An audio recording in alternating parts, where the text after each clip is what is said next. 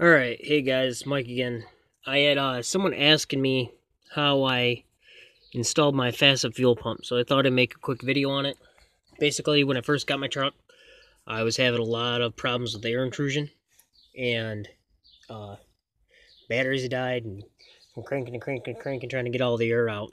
So, I installed, first I installed a Mr. Gasket pump from O'Reilly's or no, uh, O'Reilly sells it, but I got it from Advance, I think. Anyway, it doesn't matter. And lasted about two weeks. Clogged up the filter there. It's a very small filter on on the old pump, and kept breaking down on me. I couldn't drive the truck barely more than 500 feet.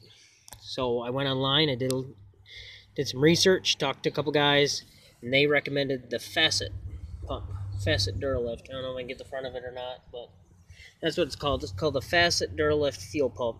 They put these on reefer trailers, I believe, refrigerant ta- trailers. They're very reliable, very long-lasting, durable pumps. I believe it's got like a 10-foot uh, pull, so it lifts it all the way back from my tank. It pulls it fuel, and I haven't had a problem with this pump now going on almost a year. I've been running it, so I kind of overkilled it. I ran uh, see the nylon line there? Maybe get a better angle of it here. But uh yeah I got that nylon line running back to uh I believe there's one more because the line wasn't long enough. I think there's one more interruption where we flared another piece of metal tube uh, to another quick connector going directly to the tank. I deleted the fuel selector valve another area prone to leakage. I don't I'm just running one one tank at the moment. If I want to run two tanks down the road, I can always put it back in and plumb it back in, but I didn't I didn't feel like doing that. Pardon this crazy contraption. That's my uh, coolant filter, but basically how I installed this, pretty easy. I made a bracket for it.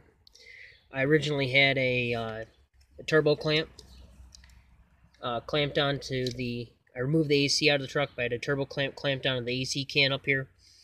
And then a, a thinner bracket than I had before mounted to the pump. That snapped off, so I made this, I believe, out of an old uh, transmission dipstick tube holder or something. I think that's what that was from. But I bent it to how I wanted it, and I made this mounting plate and mounted the pump right to that.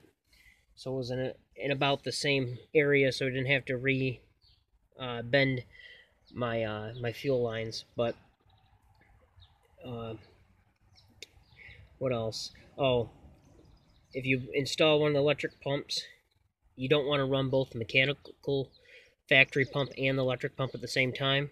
You're going to need a fuel block-off plate. I think it's just called a Chevy Big Block block-off plate. The one I got from O'Reilly's, here's the part number. 1516, the Mr. Gasket fuel pump block-off plate. It's diamond shaped. And that mounts, uh, gives you a fresh gasket, mounts perfectly right over where your old mechanical pump was. And I took the power lead, I bolted it right down to my key on lead on my glow plug controller here. We relocated the controller because this originally had the 6.9 motor in it. We relocated and installed a 7.3 controller on the ground plate here.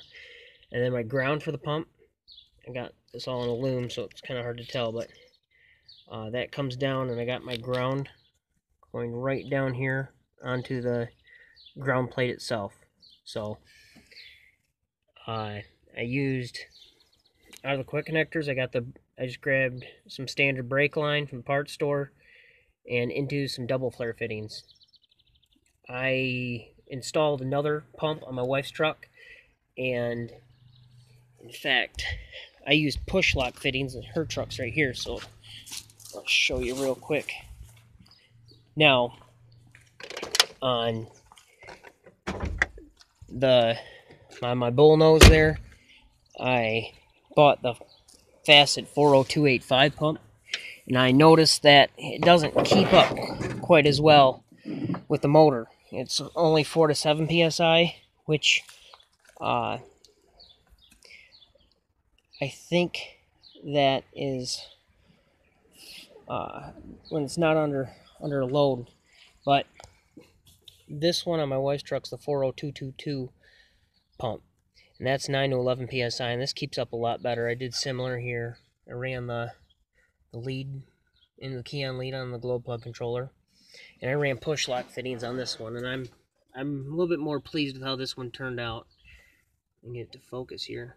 Yeah, I ran a a 3 8 push lock into the quarter inch with it's a it's one quarter one eighth. I think it's an eighth NPT going into the pump. And ran that right into the filter housing like on the other one. Very very simple setup. And this is kind of like how my old bracket was. Only I'm gonna redo that because uh, the other one broke on me, so I'm not gonna delete the air conditioning on this truck, but I'm going to fabricate some other bracket because I don't like that. But again, put another block off plate on this one. I think with everything it was like $100 for the pump. It was probably about $20 in fittings. About another, oh, I ran a, a, solid line. I ran a solid uh, high pressure rated uh, line on this truck. So I think I spent $60 on line. And then I think it was like less than 10 bucks for that block off plate. And I think that's about it. So, uh, very good pumps, American made pumps. Forgot the name of the site I got it from, but any other questions, just go ahead and comment, or uh, those of you that know me on Facebook, you can reach me there. All right, have a good one.